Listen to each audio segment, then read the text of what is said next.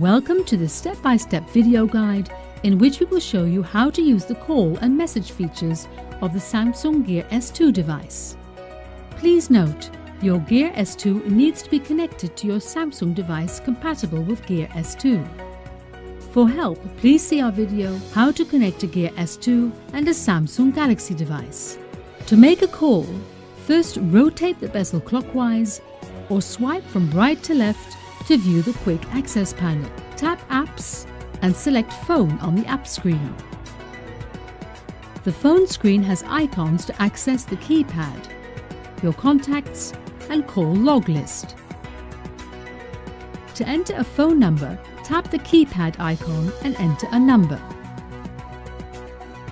Then tap the outgoing call icon. Or to use registered numbers and contacts, Tap Contacts and select a contact. And then tap the outgoing call icon. Please note, call conversations are only possible via the connected mobile device. When the other party answers your call, the call feature will automatically launch on your mobile device. Use your mobile device to have a conversation. When a call comes in, drag to the right the call feature will automatically launch on your mobile device. Use your mobile device to have a conversation. To reject a call, drag to the left. If you missed a call, a notification appears on the screen. On the watch screen, rotate the bezel counterclockwise to view missed call notifications. Or tap Phone on the app screen to view missed calls. To send a message, first rotate the bezel clockwise or swipe from right to left to view the quick access panel.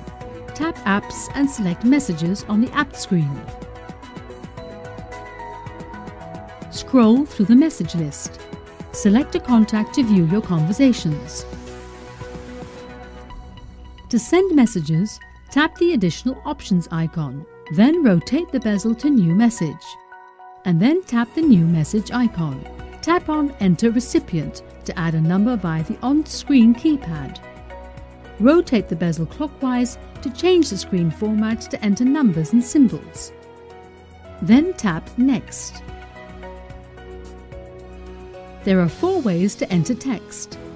Preset texts, voice input, emoticons, keypad.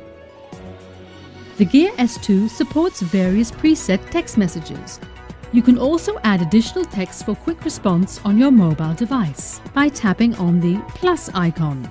The Gear Manager app will open automatically on the General Messages screen. In the Quick Response field, you can create your own Quick Response message. To enter text using voice input, tap the Voice Recognition icon. It will activate the S Voice app. Check the agreement and tap Agree. You can use registered commands to enter text. If you tap emoticons, you can enter various emoticons. If you tap the keyboard icon, you can enter text. Rotate the bezel clockwise to access and enter numbers and symbols. Tap Done once you have completed your message. Then tap Send icon to send the message. You can check the message log list on your connected mobile device. Follow these tips carefully to prevent damage to the device and to maintain the water and dust resistant performance of the device. Whenever possible, keep your device dry and avoid immersion in water. Gently wipe dry after exposure to liquid. Avoid exposing your device to water at high pressure or in situations where there is fast running water. For example, in the sea, under a shower. Do not use a screen protector. This causes sensor malfunctions. That's it.